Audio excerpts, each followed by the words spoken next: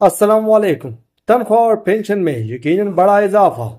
رحمان علی باجوہ کی طرف سے بریکنگ نیوز تین نومبر دو ہزار چوبیس تازہ ترین اطلاعات رحمان علی باجوہ کے فیس بک ویڈیو پیغام کے مطابق۔ سرکاری ملازم کی گرینڈ الائنس کے چیف کوارڈینیٹر رحمان علی باجوہ نے تمام سرکاری ملازم کے لیے اہم پیغام شیئر کیا ہے۔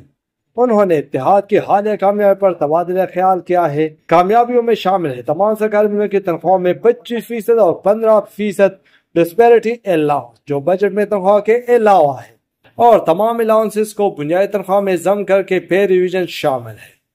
تاہم باجوہ نے موجودہ مسائل پر بھی توجہ دی، جیسے کہ بعض ملازم کے لیے مراحل کی کمی، خاص طور پر گریڈ ایک سے سولہ تک کے ملازمین ڈیلی ویجز کنٹریکٹ اڈہاک اور کنٹینجنٹ پے سٹاف کی ریگولرائزیشن انہوں house rent medical conveyance allowance اور ہائرنگ یعنی ہاؤس سبسیڈی سے متعلق مسائل کو حل کرنے کی اہمیت پر زور دیا۔ وہ ملازم کے فوائد میں کمی جیسے کہ لیو انکیشمنٹ اور پینشن اور اہم مسائل سے توجہ ہٹانے کے بارے میں خدشات سے بھی آگاہ کیا۔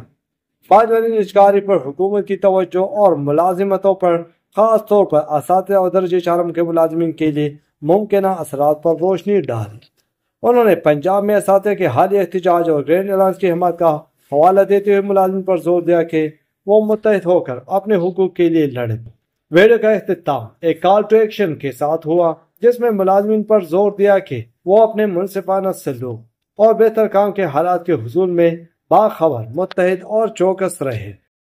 انہوں نے سرکاری ملازم کے گرینڈ الائنس کی کامیابیوں پر روشنی ڈالی، جس میں تنخواہ میں اضافہ اور تمام الاؤنسز کو بنیادی تنخواہ میں ضم کر کے پے ریویژن شامل ہے۔ تاہم، یہ مواد کی کمی، گھنٹے ملازم کی ریگولائزیشن اور نشکاری کے بارے میں خدشات جیسے مسائل بھی حل طلب ہے انہوں نے ملازمین پر زور دیا کہ وہ متحد ہو کر اپنے حقوق کے لیے جد و جہد کریں۔